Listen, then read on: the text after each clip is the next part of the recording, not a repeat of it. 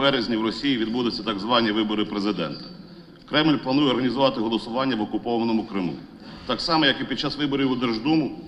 Нагадаю, що за ініціативою лідера Народного фронту Арсенія Яценюка Верховна Рада тоді ухвалила постанову про невизнання виборів до Держдуми з відповідними правовими наслідками. Сьогодні Народний фронт також зареєстрував проект звернення Верховної Ради до міжнародного співтовариства номер 7546. Ми повинні звернутися до всього світу з вимогою запобігти так званим виборам президента Росії на українській території у Криму. Процес підготовки виборів і утвердження окупаційного режиму в Криму і на Донбасі супроводжується систематичним і масштабним порушенням прав місцевого цивільного населення. Ці міжнародні злочини кремлівської верхівки треба зупинити.